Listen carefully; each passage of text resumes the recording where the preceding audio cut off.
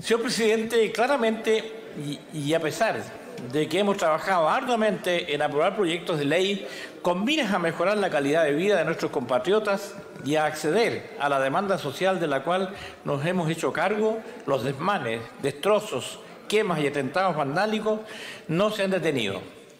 Hoy en día, señor presidente, atendido el hecho de que estos actos no se han detenido, me parece que no es pertinente sentarse a analizar las causas de este fenómeno, social, sino que llegó, llegó la hora de hacerse cargo de las herramientas que permiten responder ante hechos como los que hemos vivido en los últimos meses y proteger antes de cualquier otra situación el derecho de los chilenos a vivir en paz, resguardando siempre el orden público, la seguridad de las personas y los bienes tanto públicos como privados. Por ello es que valoro el origen de esta moción, ya que es capaz de abordar de buena manera varios de los delitos que hemos visto en los últimos meses y cuyos hechores, lejos de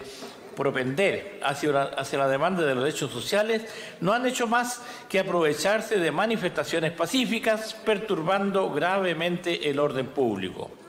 Es urgente y prioritario, señor presidente, aislar totalmente a todo elemento vandálico y violento del derecho a manifestación pacífica que asiste a nuestros compatriotas.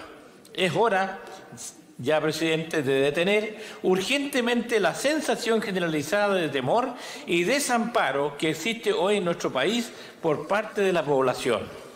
A la lectura del texto del proyecto, aprobado en la Comisión de Seguridad del Senado, es valorable el hecho de que se establecieron penas de presidio menor en su grado mínimo, que van de 61 a 540 días, para quienes levanten barricadas y para los que pretendan seguir con el que,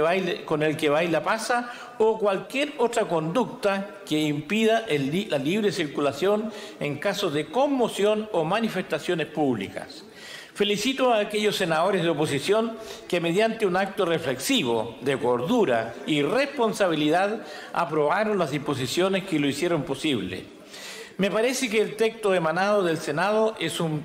proyecto más acotado, con una redacción bastante más acorde a la realidad y los hechos que se han vivido en los últimos meses. He dicho, señor presidente, muchas gracias.